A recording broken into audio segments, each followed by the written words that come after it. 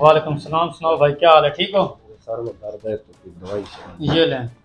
Doctor साहब bill बनाए। एक शीशी है? जी सर। दो सौ रुपये ठीक। एक घंटे बाद भाई बंदे को भेज छोड़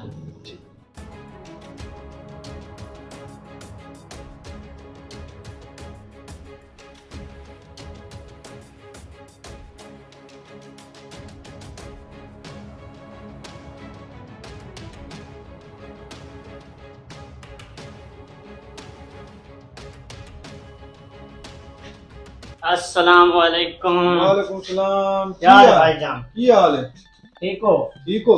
कैसा जा रहा है आपका कारोबार? यार समझ नहीं आई। क्यों? पता नहीं माल किधर जा रहा है। दुकान तो अच्छी चल रही है आपकी गाहक कितने आते हैं? गाहक बहुत आते हैं लेकिन कैश का नहीं पता किधर जाता है। आजकल जो भी मेडिकल बनाता है वो तो अमीर हो रहा है फिर तुम क्यों घाटे में जा रहे हो? समझ नहीं आती।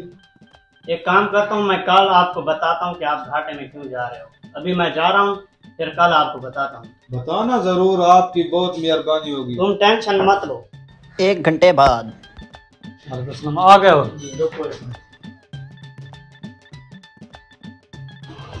ये और भी हूँ ठीक है?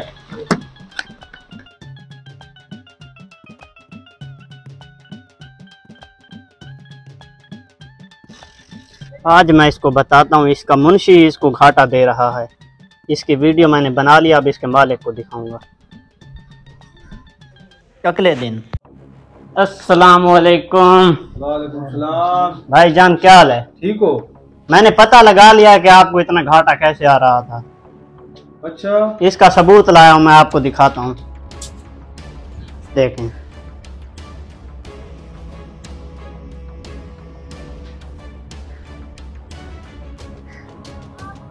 ये आपका मुंशी आपको धोखा दे रहा है।